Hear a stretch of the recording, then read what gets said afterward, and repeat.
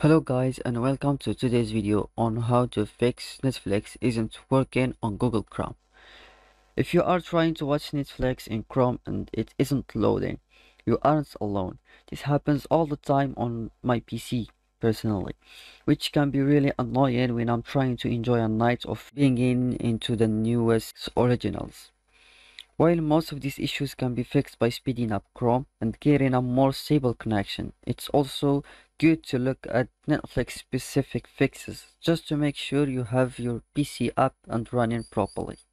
So Netflix works perfectly 99% of the time, but that 1% can have quite the impact.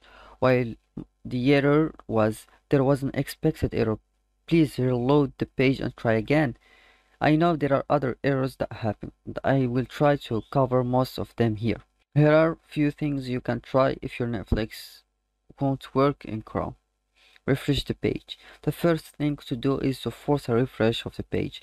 Chrome is quite memory intensive and can freeze occasionally if there is a lot going on. If playback stops and you see any kind of error, forcing a refresh tells Chrome to reload the page as, it, as if it was for the first time. A force refresh is different from a normal F5 refresh as that just reloads the page using existing data.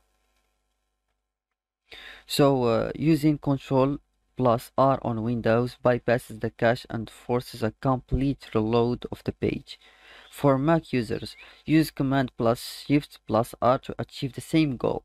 This will reload the page and hopefully restart playback without any error. Now it's time to clear your cache. If reloading the page around the cache doesn't work, try clearing the cache altogether. It will clean out any potentially corrupted files that is causing Netflix not to work in Chrome.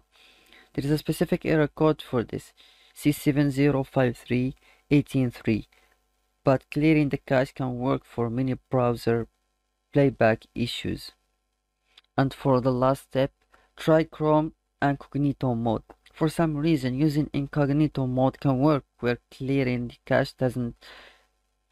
Incognito mode uses a different profile with no cache to work with and will not accept session cookies. In theory, it doesn't do anything that clearing the cache doesn't, but but it can work around issues with Netflix. Right click on your Chrome icon and select incognito mode. Here, a new incognito window Navigate to Netflix and log in and start a stream and see if it plays without any erroring. So that's it guys for today's video. Thank you for watching and see you next.